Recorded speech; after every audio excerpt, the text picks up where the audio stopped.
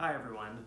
In light of recent events that are going on around the world, everyone having to self quarantine in attempts to flatten the curve, I'd like to invite all of you to join me for some live music. Now, this live stream is going to be taking place right here on YouTube tomorrow, April 10th, from 11:30 a.m. to 12 p.m. and that's Central Time, 11:30 a.m. to 12 p.m. Friday, April the 10th. Join me right here for some live music. I will also be taking requests. So come on, join me, and bring your requests. And I will see what I can do to fulfill all those requests. I hope y'all are having a wonderful day, and please stay safe.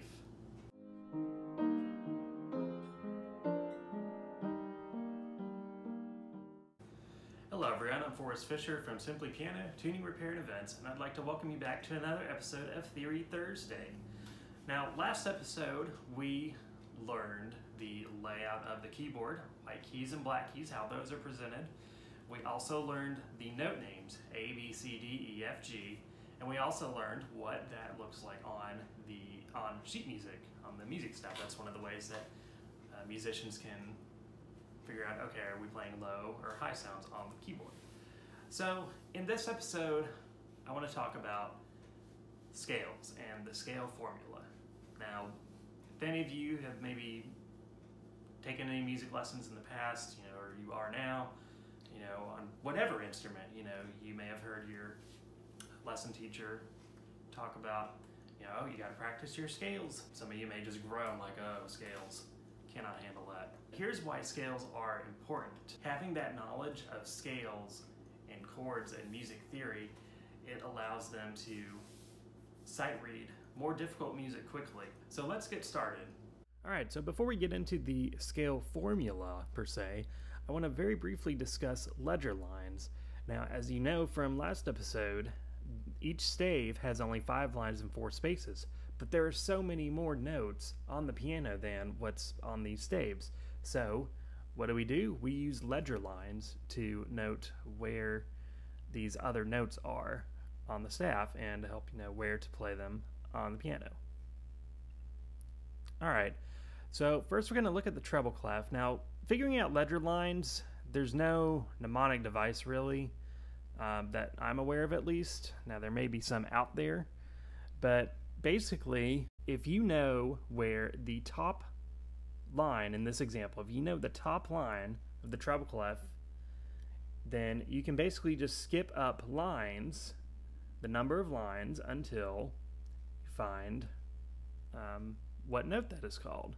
So in this example, we have ledger lines on lines themselves, not on spaces. So we know that the top line of the treble clef is F from Every Good Boy Does Fine.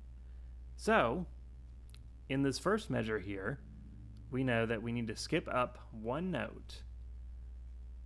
That would make this note A. In measure 2, we need to do two skips from F. Two skips from F. So one skip up is A, and then we skip up one more time, and that brings us to C. And so on and so forth with the other measures. All right, same concept with the spaces. All right. We know that the top space of the treble clef is E from face, F A C E. All right. So, the note in measure 1 is also on a space. We actually need to skip up two spaces because there is a space that sits on top of the clef, and I'll talk about that in just a moment here. So, measure 1, we need to skip up two spaces from E. So, one skip up is G, and then another skip up is B. Now, let's look at measure 2. We need to skip up three spaces from E. All right? So, one skip up is G, two skips up is B, as we just saw from measure 1, and then if we skip up one more time, we will arrive at D. All right. So those are lines on the spaces. And same concept goes for the bass clef ledger lines, except instead of skipping up, we're skipping down. So I'll just do measure one for an example. We know the bottom line is G, So we need to skip down one line, which we would arrive at E. Same thing for the spaces, of course. We know the bottom space is A, all cows eat grass. Now we need to skip down two because there's a space, just like in the treble clef stave. There in the bass clef, there is a note that sits kind of on the bottom space, like just below that bottom line G there. So we need to do two spaces. So one skip down from A is F, and then we need to skip down once more, and that will be D. All right, and here's a quick little picture of the uh, notes I was talking about earlier that sit on the top of the treble clef on the bottom, and same thing on the bass clef. So we have G sitting on top of the treble clef right there, that's on a space. And then the bottom space sitting just below the treble clef is D right there. All right. And same thing with the bass clef. We have um, B that's sitting on top right there, top of the bass clef. And then we have low F sitting on that bottom space. All right, it's right next to that bottom line G. All right, so now let's get into the actual scale formula. Now, the scale formula is divided into whole steps and half steps. Now, a whole step is defined basically as going from white key to white key. Now, there are two exceptions to this. If you go from E to F, that is not a whole step, that is a half step. Also, if you go from B to C, that is also not a whole step, that is a half step. The reason these are only half steps is because there is no black key in between. If you go from other white keys to white keys, like for example D to E, you're skipping over a black key in between, so that is a whole step. So, once again, to review the exceptions, B to C is a half step and E to F is a half step because they do not skip over a black key.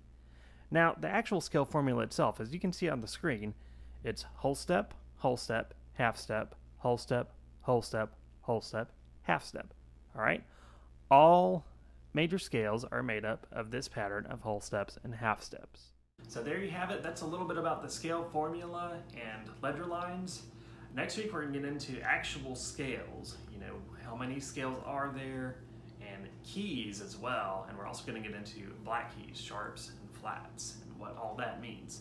So please join us for that video next week for Theory Thursday. If you did enjoy this video, please consider subscribing to my channel. I have several other videos about Theory Thursday. Those will be forthcoming. And I also have videos about me playing various pieces of music and a series called Tuning Tuesday where we tune a piano. So if any of that interests you, please consider subscribing and I'll see you all in the next video. Goodbye.